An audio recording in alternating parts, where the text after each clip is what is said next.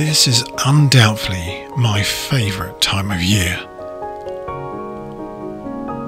Springtime is a time of new life and new adventures, especially for us carp anglers.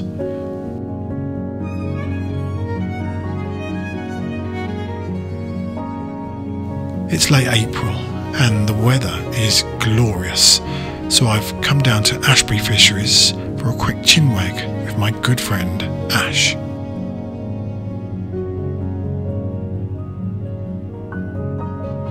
Ash is on a mission to catch a monster, and with the clear water and the sun warming the lake, fish are cruising for a bruising.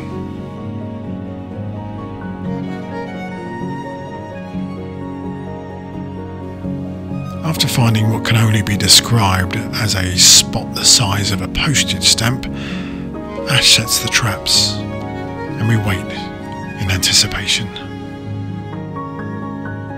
I fished with Ash a few times and his attention to detail could be perceived as slightly, how can I say this, um, anal, but there's obviously good rationale behind his actions.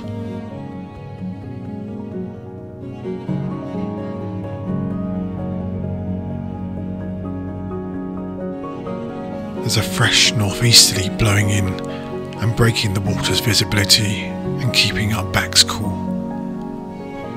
The carp have been showing themselves but not giving themselves up too easily.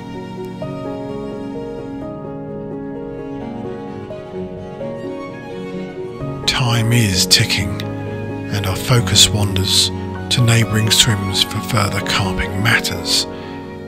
But, as luck would have it, whilst gassing about the one that got away, we missed the bite. Great.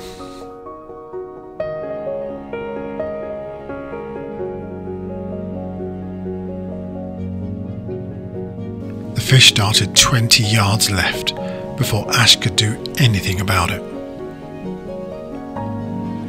It looked like a good fish, but then the line stayed taut and the fish found what looked to be a snag.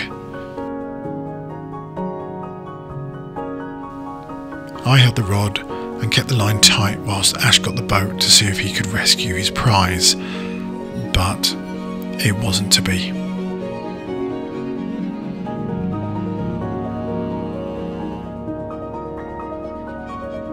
Whatever it was, it had swam into a nest of weed and unhooked itself. And as they say, you win some, you lose some.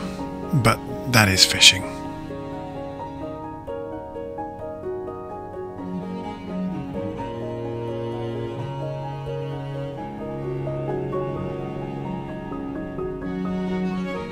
It's early in the season and there'll be plenty of other opportunities to catch that monster, mate. Here's to a successful 2022 for everyone.